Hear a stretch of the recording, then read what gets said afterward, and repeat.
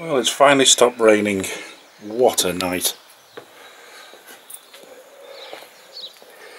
But she arrived and she looks a lot better on real life than she did on the photographs. Uh, there were issues getting her off the trailer. Namely, uh, there was no throttle cable. The throttle cable had broken. I'll show you that later. But a new one is ordered and that's the engine bay 3.9 Rover V8. Yeah.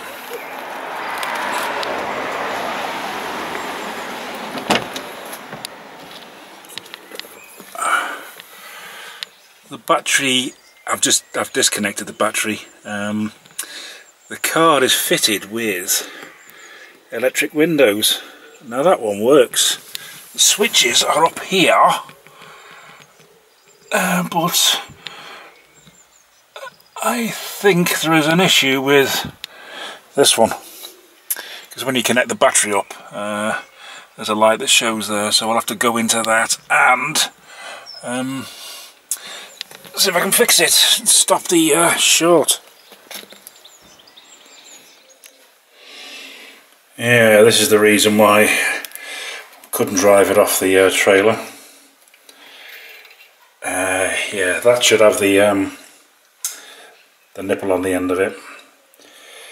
Yeah, which uh, it hasn't. Hey, look at me radishes. Ooh.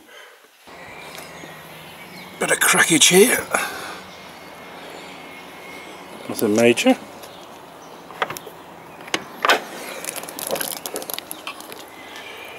But we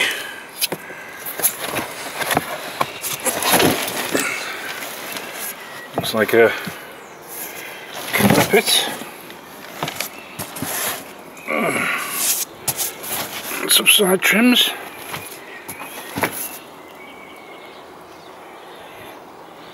And no uh, boot stay.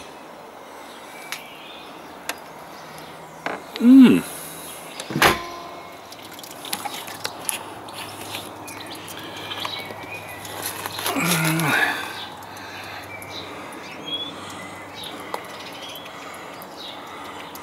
All in all, really rather nice.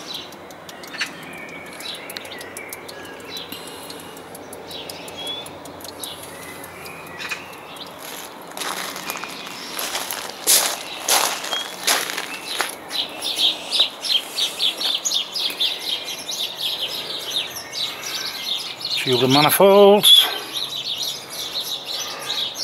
lots of water ingress.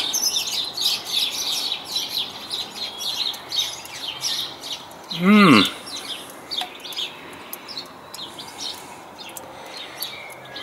So we'll see. It looks uh, intact. Hmm. I wonder where those window winders are.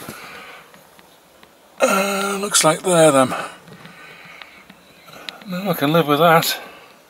I've had the battery on charge and this is the isolator so uh, yeah I've left it uh, overnight like that but that looks quite neat uh, electric aerial antenna I don't know what's going on with these repeaty things here